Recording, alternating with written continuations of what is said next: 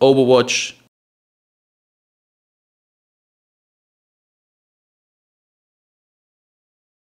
What's up guys and welcome back to another YouTube video right onto my YouTube channel. SkiMask Tutorials is back. Today I'm gonna basically tell you how to basically increase your FPS, increase your performance in Phasmophobia. So keep in mind to watch this video till the end and I will really it will help you a ton with that. Before we start right into the video, I just want you to let you guys know that I would really, really appreciate it if you would just click on the subscribe button. It will help you help me a ton out as a little YouTuber as I am. So without further ado, do that. it will really mean, mean the world to me. And without further ado, let's start right into the video. So the first thing I want you to do is going to be really simple. I want you to uh, go to your NVIDIA scroll, and if you're using NVIDIA, it doesn't really matter. You're going to right click onto your monitor. You're going to go to NVIDIA control panel. For me, it's NVIDIA control panel. Wait till it pops up. Exactly.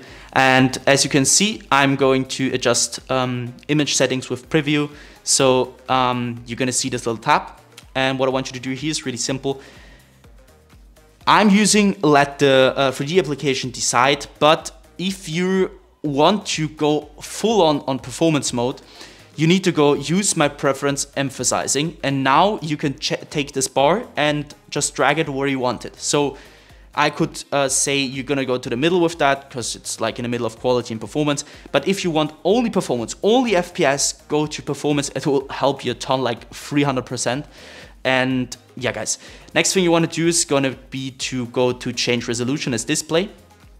And yeah, guys, if you really want to increase your FPS, you need to uh, turn down your like your um, resolution a little bit. So for example, if you're natively using one, uh, 1920 by 1080, you can go down to 1768 to 992 and uh, this will help you a ton in general. So once you're finished with that, I want you to simply close the NVIDIA control panel or your graphics card control panel. And next thing I want you to do is going to be to go to the bottom left corner of your screen where you're going to click onto your Windows settings or simply click your Windows key on your keyboard. Uh, now I want you to hit settings. Uh, once you hit settings, I want you to go to system. So the first thing, and now you stay, uh, you're gonna stick to display. And now the first thing I want you to do is gonna be to um, check which your main monitor is if you have more than one. So for me, I have one and two. And on this monitor, I'm playing my games. So monitor one is my main monitor. If you have one, it doesn't really matter. So uh, go back or go down, go to scale and layout. I want you to change the size of text tabs and other items to 100% is recommended. And the display resolution, guys, if you just changed it on the NVIDIA control panel, on the graphics card control panel, you also need to change this right here and then change it also in-game to the resolution you changed it. Because everything should be in line, everything, everything should be the same resolution. This won't cause any trouble. So um, next thing I want you to do is gonna be to go to power and sleep.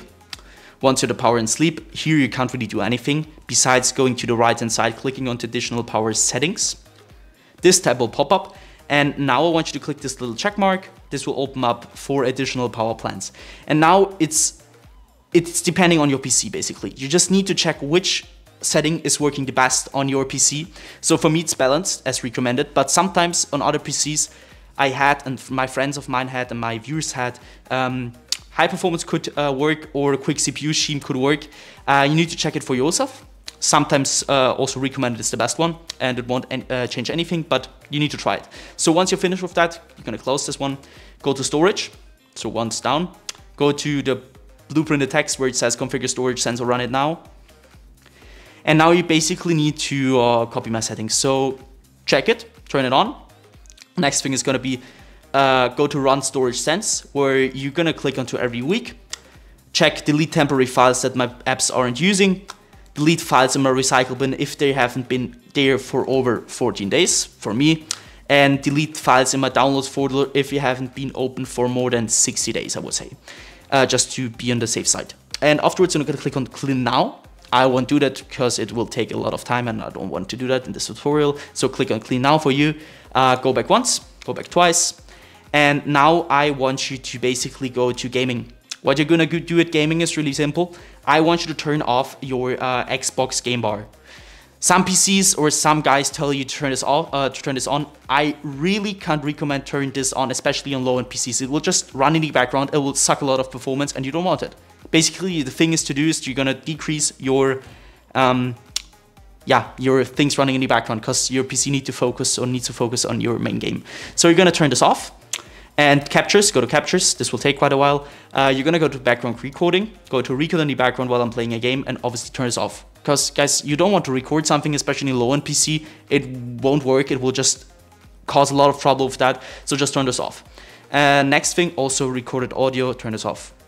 Who, who wants recorded audio? So just go to game mode, and now again, some guys tell you to turn this on, some guys tell you to turn this off. I won't tell you anything of those two. I will tell you you need to check it for yourself because it's your PC, every PC is different, and you need to check it. Turn this on, check it, turn this off, check it. Which one is working better? Go this way.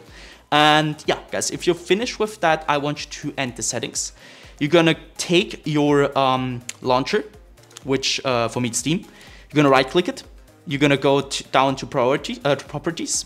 You're gonna click on that what I want you to do here is really simple. You're gonna click onto compatibility. And now I want you to uh, just copy my settings. So enable run this program in compatibility mode 4. Select the latest Windows version. For me, it's Windows 8. Next thing, disable reduce color mode, disable run this in 640 by 480 screen resolution, disable disable full screen optimizations, enable run this program as an administrator, disable register this program for restart. Uh, you know, click on apply and OK, and afterwards you need to restart your PC to see this little administrator symbol right onto your launcher, and now you need to launch your game over the launcher, which is uh, starting with administrator mode. And you could can do the same thing to your game in-game shortcut. I don't have it uh, right on my uh, desktop, but just do the same thing. So right-click, properties, compatibility, copy the settings. We'll do the same thing. Uh, next thing I want you to do is going to be to go down to your uh, taskbar, or if, perhaps you have it on the top or at the side, for me it's on the down, so down right click, task manager. Once this one pops up, I want you to go to details, so left hand uh, side on the top. I click on the details, so my game isn't running right now, but it doesn't really matter. Just do the same thing which I'm doing to Creative Cloud to your game which is running and also your launcher. So you're gonna right click, you're gonna hit set priority, and now you need to check it uh, to yourself. Watch which one is currently working better on which PC. So uh, for me, it's either high or above normal. And what you're doing with that is basically set a priority of your PC going right into your game. So everything your PC has will go into this game and this will increase your FPS a lot. So just trust me guys and do that. Uh, afterwards, once you're finished with that, go to startup. And now again, you don't want any program which you don't want to store it with your PC to store it. So you just need to disable every single program you don't want to store it when you're starting your PC. So basically, as you can see, I've disabled nearly anything or everything. Um, you just need to go right click and disable, especially nothing related to, win to Windows.